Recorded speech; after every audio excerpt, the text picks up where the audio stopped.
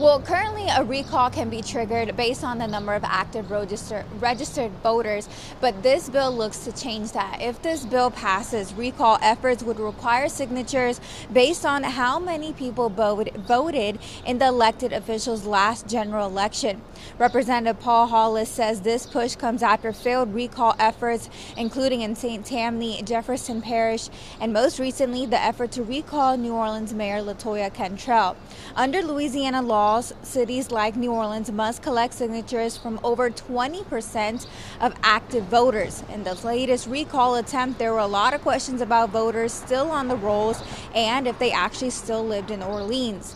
This bill proposes organizers collecting signatures equal to 20% of voter turnout in the elected officials' latest election. Hollis says this would drop the number of signatures needed by half. He says his goal is to make the process of a recall more achievable for the people actually voting in elections in New Orleans and anywhere else that I see uh, a recall effort, I tell those folks you, you're not going to get it because Louisiana, compared to all the other states that allow for it, sets a bar almost arbitrarily too high. And so at the end of the day, you're just going to be frustrated. We need major reform.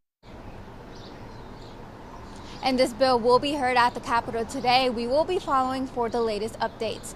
Reporting live in New Orleans, Anam Siddiqui.